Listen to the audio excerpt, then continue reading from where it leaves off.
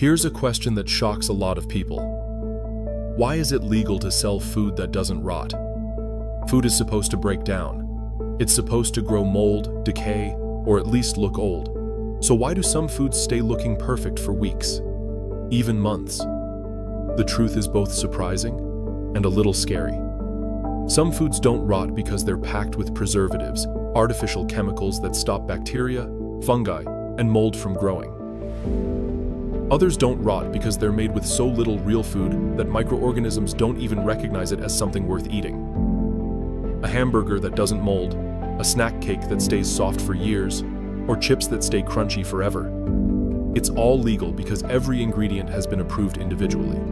But here's the catch. These rules often focus on safety in the short term, not the long-term effects of eating ultra-processed ingredients every day.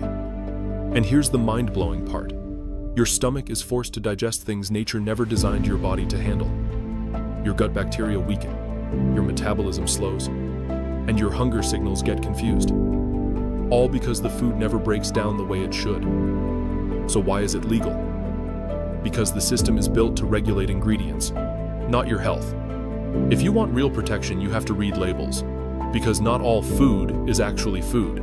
Like, comment, and follow for more eye-opening truths about what we put into our bodies.